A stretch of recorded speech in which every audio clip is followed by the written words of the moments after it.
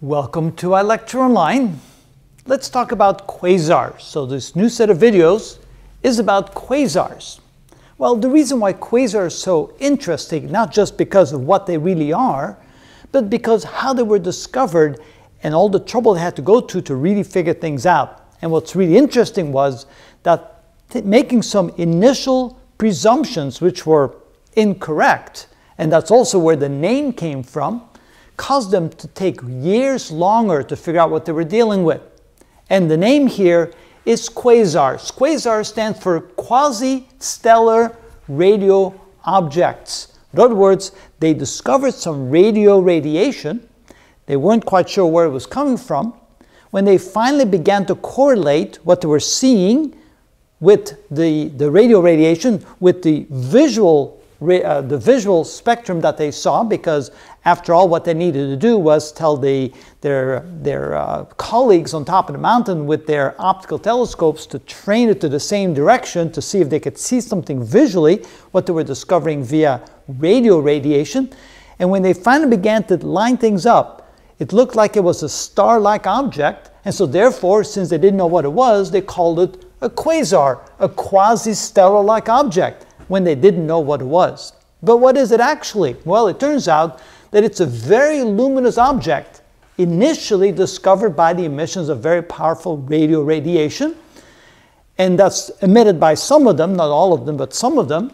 And then they were originating from the center of distant galaxies. Now, they didn't figure that out right away, but these are objects that are emitting an enormous amount of energy, faraway galaxies from the center of the galaxy, displaying an, an enormous large redshift. And of course, large, large redshifts means that it must be really far away, according to Hubble's law.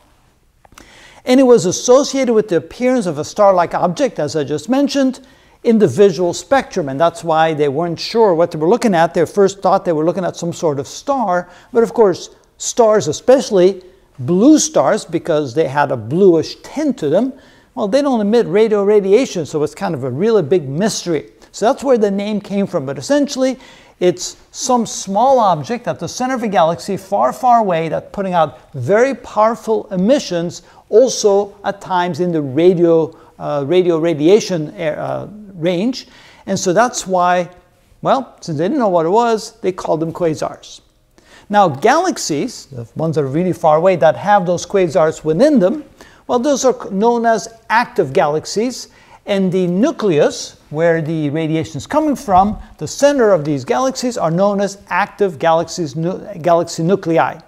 And the engine, essentially what's driving these quasars, is supermassive black holes, enormous black holes at the center of those galaxies that are currently active. So they're swallowing up material, and it's that action of, of swallowing up enormous amount of material, of course, in faraway galaxies, that produces the energy that we then that we then discovered, first as radio radiation and later on as a very luminous source of radiation across all the, the spectrum of the E&M bands. So now we kind of know what quasars are. Let's take a look at the next videos to get a feel for this, how they were discovered and for a feel of what really, really um, kind of generates all that energy and why there's so much of it that we discover from very large distances away.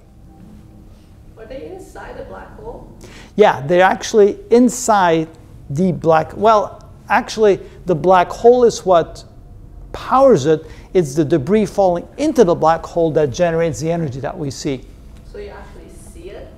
We actually measure the radiation. We can see the radiation, we can see the, the, radi the, the radio radiation from the lobes, and we can see the luminous radiation from the debris falling in. It creates an enormous amount of energy. I thought you can't see it because the black hole doesn't let anything out. Well, once it's a black hole, it's history. You don't see anything, but it's on the way of falling into a black hole. So it's still outside the event horizon. It's the huge accretion disk that's slowly swirling into a black hole, that the radiation coming from that action that we see. It's very interesting.